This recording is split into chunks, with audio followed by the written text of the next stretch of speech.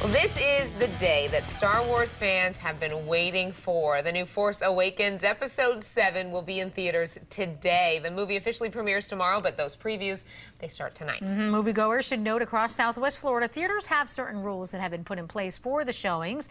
Fox 4 Rising's Mark Jackman is live at the Edison 8 Theater in Fort Myers with more on what you need to know. And should the Force be with you tonight? Mark, good morning. Oh, boy.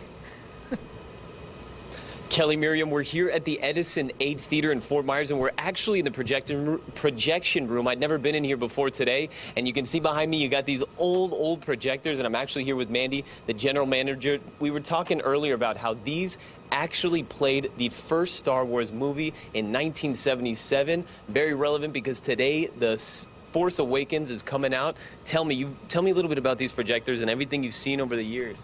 Um, these are actually awesome. I actually miss them. 35 millimeter, of course, nothing like them, but nothing like our new uh, digital equipment nowadays. Like the, the, digital equipment that we have is over here yeah. because you were telling me before Disney Films sent you a couple test clips so you were able to actually see it not only in 2D but in also the 3D 4K machine that you have here? Yes, we sure did. This is uh, the 3D Sony 4K and it plays both 3Ds and 2Ds, of course, like we talked about. And we have a sneak peek for you guys at home. We are actually going to get to see the movie.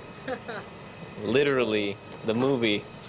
This is it right here. it looks like now. No this, this is Star Wars right here. No more film digital. You're going to come here. And for those of you at home that are going to be coming to the movie theater, this tonight that couldn't be more excited, I want to mention a couple things because I've been calling movie theaters around Southwest Florida.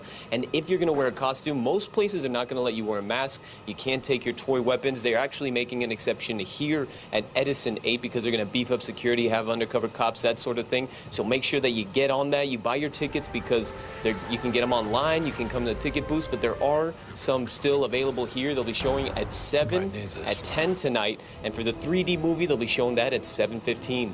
We're live here in Fort Myers. Mark Jackman, Fox 4 Rising. Giving oh, us a tease. I know. I'm going to show you the movie physically. Yes. you don't actually visually get to see it. Security experts